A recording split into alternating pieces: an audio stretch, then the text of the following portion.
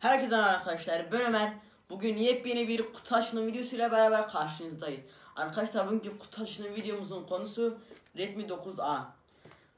Bugün sizlerle beraber bunu bu ürünü tanıtacağız. Özelliklerinden bahsedeceğiz, fiyatını belirteceğiz ve e, bunun fiyatına bir telefon alır mı? Yani ne kadar mantıklı onu onu tartışacağız.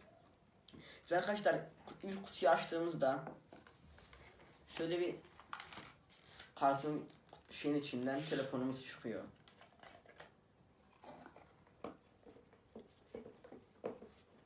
Kağıtlar falan arkadaşlar hiç uğraşmak istemiyorum. Zaten o kadar da bir şey yazdım. O kadar da bir şey yani önemli bir şey yok. Ekranımız şu şekilde arkadaşlar. Yani şu anda bunun fi güncel fiyatı arkadaşlar 2.5 bin TL.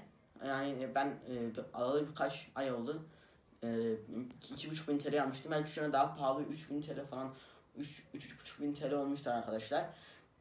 Ee, ama ama gerçekten yani idare edilebilecek bir telefon.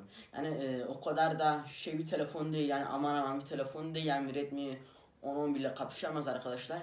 Bunun özelliklerine gelirsek arkadaşlar 6.53 inç ekranımız var.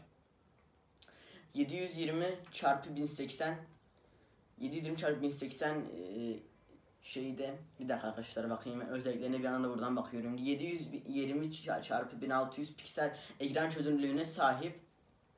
Hız olarak e, bazen kasma yapabiliyor. Yani çok değil. Yani böyle nadiren böyle aşırı böyle yer kaplayan 3-4 GB mesela bir uygulama açılırken falan bazen kasma gibi durum olabiliyor. Ama ama onun dışında çok da bir kasma durumu olmuyor arkadaşlar.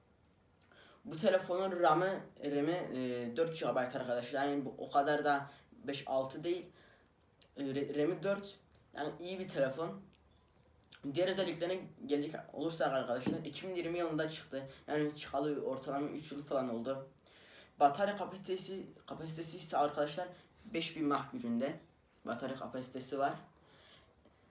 Dahili hafıza ise yani bu, bunun e, şeyi 64 GB kamera kamerasına gelsek arkadaşlar kamerası e, kamerasından yani ön kamerası arka kameraya göre daha iyi daha iyi çekimler sunuyor size. Kamera çözünürlüğü çözünürlüğü ise 10 imkan arkadaşlar. Şimdi şöyle mesela bir kamera ön kameradan mesela çektiğim şöyle bir fotoğrafımı göstereyim arkadaşlar size. Hemen arkadaşlar açayım bir dakika bir saniye.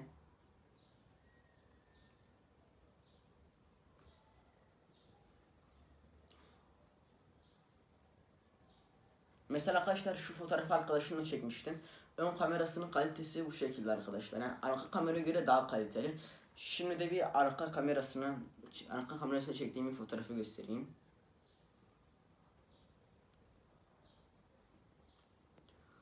Arka kamera Mesela şu fotoğrafı da bir tişörtün fotoğrafını çekmiştim. Beğenmiştim o zaman.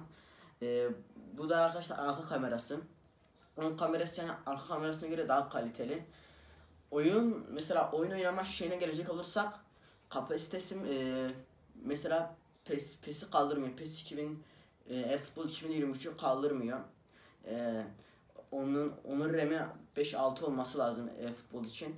Yani düşük megabayt yani böyle 2-3 GB'lık şeyleri kaldırabilir ama e, e-futbolu kaldıramıyor. Ben birkaç baktım da hangi hangilerini kaldırıyor kaldıramıyor diye. Yani böyle en belir, belirgin oyun olarak onu söyleyebilirim.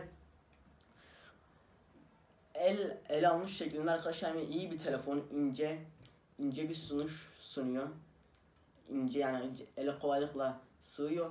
Kalından şöyle e, bu şöyle eğimli kenar geldikçe eğimli bir yapısı var arkadaşlar. Onun dışında arkadaşlar e, böyle çok oynadım çok kaldığını mesela 45 dakika boyunca mesela telefonda takılırsanız çabuk ısınıyor. Onun dışında çok bir problemi yok. Yani iyi bir telefon diyebilirim. Yani iki buçuk, iki buçuk, üç bin TL'ye al, alınabilir bir telefon. Yani e, gerçekten fiyat performansı olarak gerçekten iyi bir telefon arkadaşlar. Ve arkadaşlar bugünkü videomuzun da sonuna geldik. Başka kutu açılım videolarımızın devamının gelmesini istiyorsanız kanalıma abone olup like atmayı unutmayın. Sonraki videolarda görüşmek üzere. Hoşça kalın. Bay bay.